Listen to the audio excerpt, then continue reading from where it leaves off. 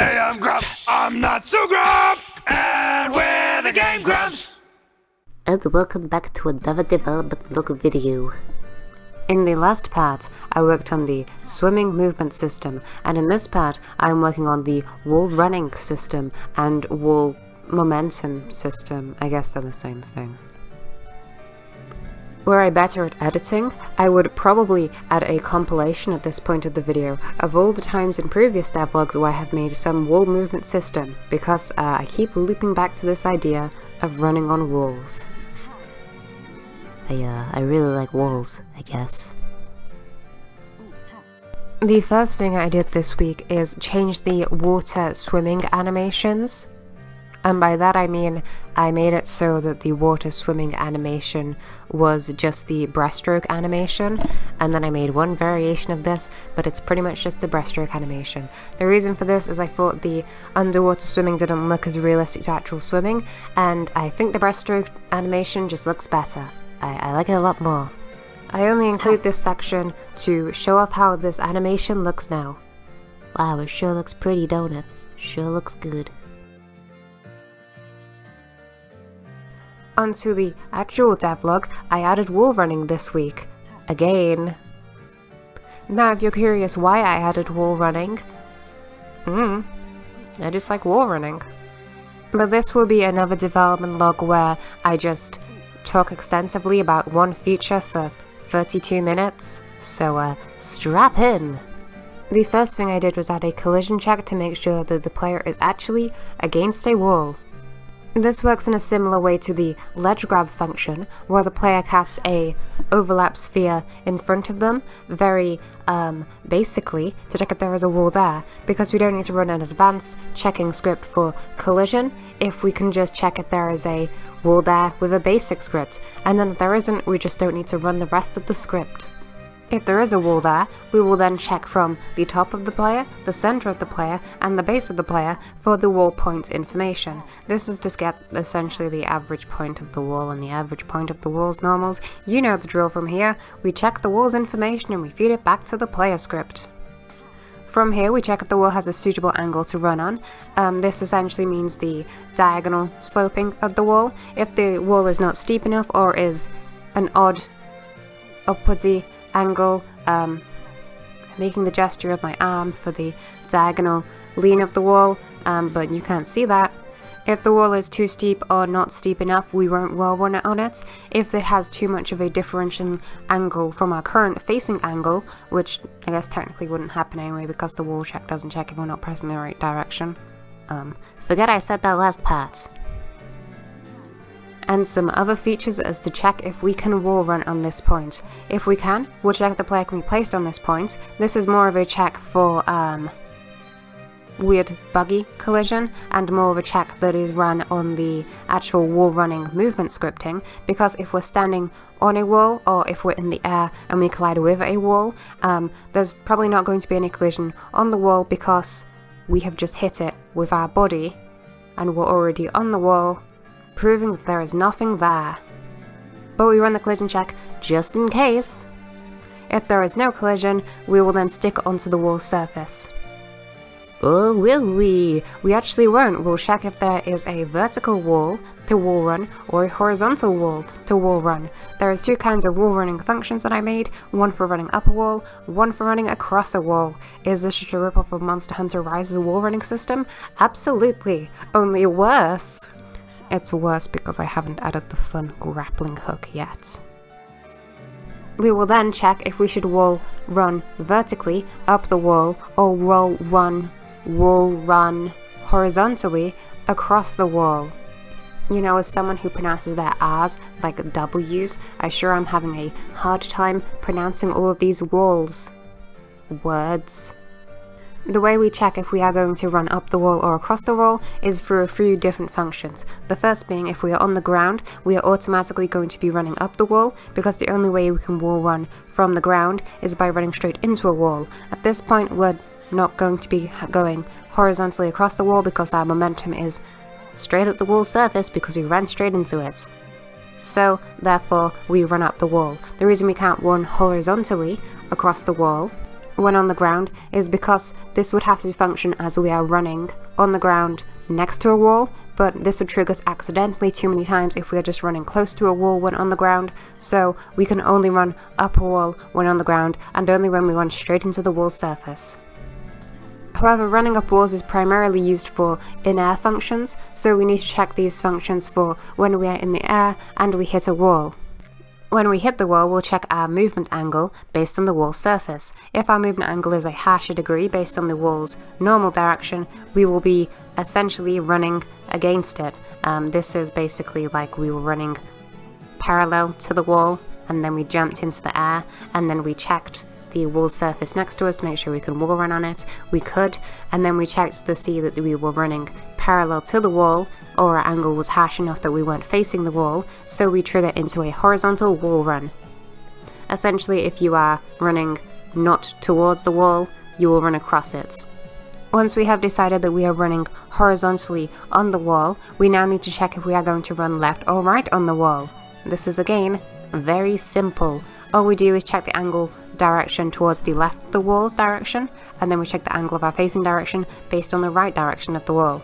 If we are closer to the left direction, we will run left. If we are closer to the right direction, we will run right. This is pretty much the simplest part of the scripting of the wall run. It's just getting the logic of what our direction should be based on a few angles based on the normal direction of the wall and our momentum. If you have seen a few of my previous devlogs, you may note that some of my movement scripting is now getting excessively complicated, and this isn't a bad thing as far as design goes, because I like things to be excessively complicated, but the issue is in the priority of the coding, for example, when searching for ledges and walls to run up, when do we check if we should wall run, and when do we check if we should grab onto a ledge, and when do we check if we should do the third option that I haven't coded yet.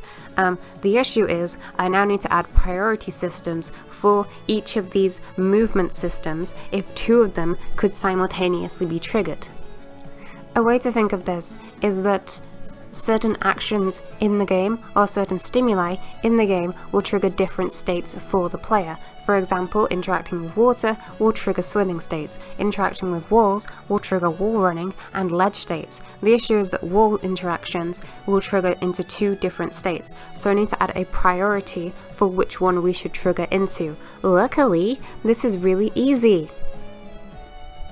All I have to do is add different setups for different situations and then depending on these situations we will trigger into different states. The key example is when we trigger into a ledge hang or if we trigger into a vault, those are influenced by the height of the ledge above us.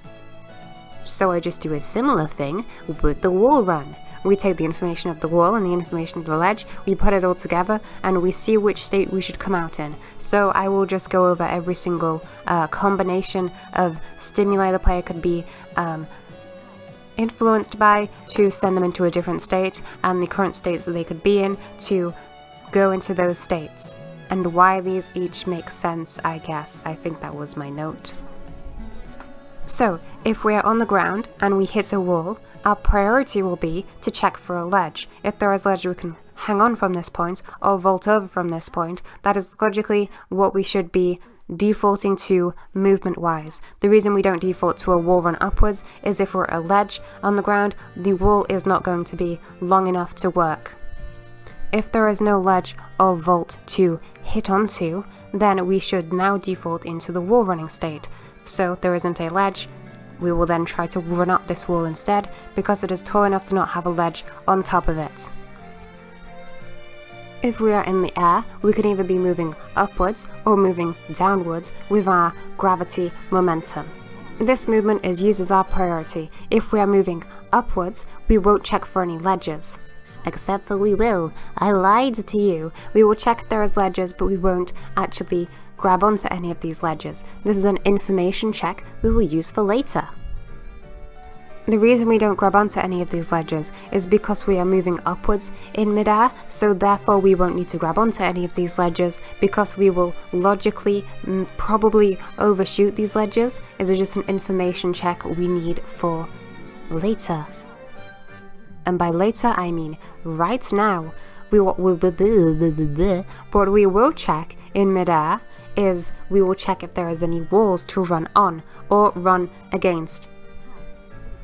This is because you can only wall run when in the positive um, section of upwards movements because we have to carry on our upward momentum to run along the walls. If we are going downwards, we can't go into a wall run because we are falling downwards. So that momentum wise would be we're traveling downwards and then we run up a wall with some momentum we got from nowhere. So when going upwards in gravity, we will prioritize wall running. However, if we have hit a ledge, we won't wall run instead. Even if we collide with a wall, this is because if we have hit a ledge, we know this is logically the top of this wall, so there is no use wall running up it because it is already something we're probably going to overshoot with our momentum anyway. Finally, we have moving downwards. This is pretty easy, we check for ledges like usual. Since we can't wall run when going downwards in gravity, all we need to do is check if there's a ledge. If there is a ledge, we grab onto it like always. Just a classic ledge grab. Just a good old ledge grab. Just a classic good old days ledge grab. Somehow in my notes for this week of things that I did, I forget to include the actual wall running system. As in how it moves.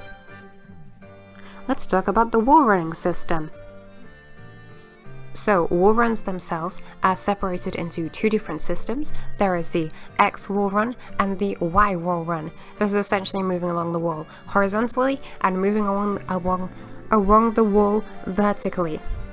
To confuse the points even more, the substate wall run vertical and wall run horizontal both use a combination of these vertical and horizontal movements.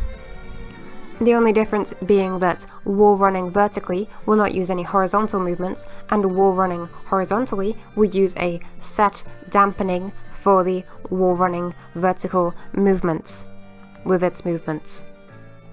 Does this make sense? Does any of this make sense? Absolutely not. Let's talk about the wall running vertically first, because it's the easiest to explain. What we do is we have two values. We have our upwards vertical amount, we have our downwards vertical amount, we have our upwards vertical time, we have our downwards vertical time. This is how much up we're going to go, how down we're going to go after this point, how long we are going to take to get to this apex of our upwards movement, and how long we are going to take to get to the downwards apex the Dapex of our movements. We will then use a modified smooth lerp to go from our default wall running momentum setup time being 0 to our wall running upwards movement time. So this is, we check for the time it takes to get to this point. Once we are at this point we will reach the top value of our wall running upwards momentum and um, it will have a have like a curve to, to how how quickly it gets to this point, like a like a graph curve, like a um, like a like a sine curve or something like that. After we have reached this point, we will use a different sine curve lerp to reach to our downward point. Um, the first is being a one where it slowly reaches to the to the apex of our of our upward momentum um, amount, and then it reaches it very quickly. And then the second one is a um, a slow start and then a quick descent into the downwards amount of our of our um, lerp amount. Actually, that's a lie. The upwards lerp reaches it quickly, the downwards lerp reaches it slowly. Um, they're essentially opposite curves of a graph. These are fed into our movement system on the wall, and we will just tell how much upwards and downwards we move with each step. If our current wall run has any horizontal movements to it, we will do a similar system where we will just build speed as we normally do with our lerp speed function. I have this function for lerping speed. Have I mentioned that? It has a couple modifiers, how much you want your speed to be, your current inputs, your acceleration, etc, etc. We will build speed with this function, and we will move either left or right based on our wall's um, initial movement direction based on our current speed. We will then feed this into our wall run movement system. Once we have both of these values, we will check at this point in the wall, well, how much we would go in one frame this step on the wall's position. We will run our similar wall positioning and wall logic scripting check. We will check for all of our previously made informations if, if the wall can be um, contained, if it has a well enough surface to contain us, if the surface is close enough to our current direction, that's where this comes in.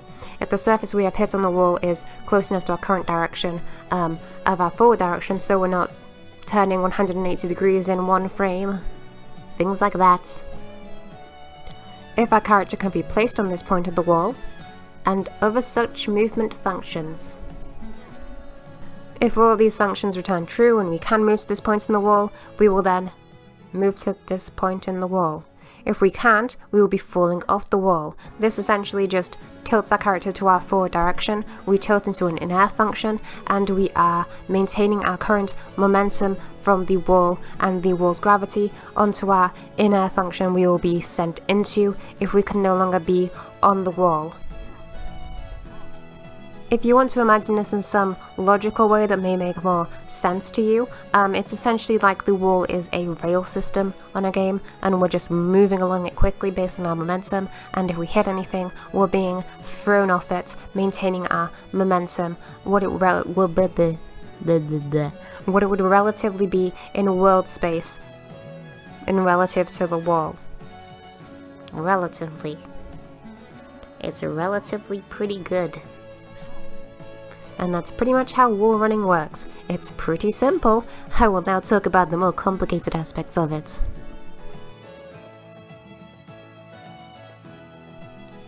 While we are wall running, we will have a couple collision checks. If we are going downwards, we will ah. check for the ground, and if there is the ground, we will walk on it.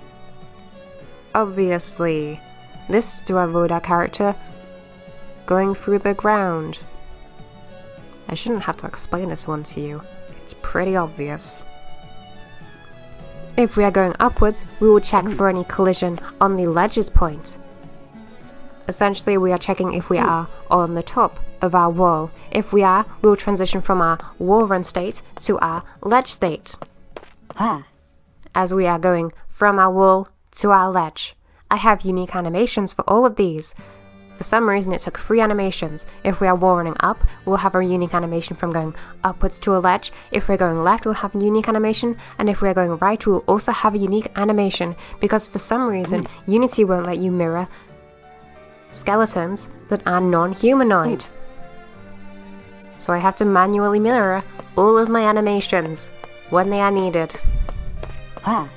Which is, uh, well, actually, it's not a whole lot of work. There's a pretty easy way to do it in Blender. But it makes it unnecessary in the animation controller, and I don't like it.